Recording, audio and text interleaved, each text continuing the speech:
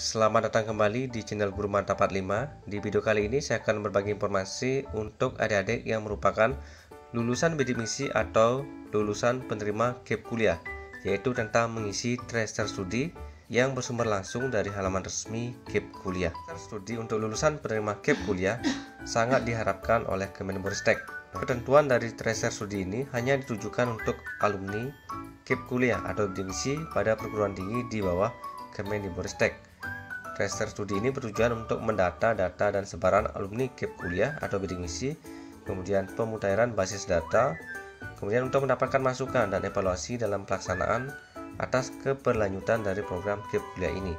Jadi sangat penting untuk adik-adik alumni KIP kuliah untuk mengisinya.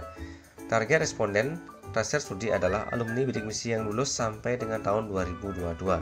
Jadi bisa diperhatikan adik-adik dengan jadwal pengisiannya itu 15 Mei sampai 30 Juni 2023. Nah, data yang diisi atau yang dikumpulkan dijamin kerahasiaannya oleh Kemendikbudristek. Pengisian instrumennya meliputi bagian A yaitu profil responden.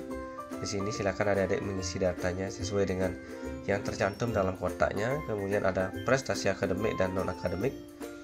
Dilanjutkan nantinya dengan keselarasan pekerjaan silahkan nanti lebih lanjut untuk mengeceknya. Kemudian ada dampak ekonominya. Berikutnya adalah kompetensi dan juga keberlanjutannya. Nah silahkan diisi datanya dengan lengkap. Setelah selesai adik-adik bisa mengklik tombol submit yang paling bawah ini. Demikian informasinya. Semoga informasi ini dapat bermanfaat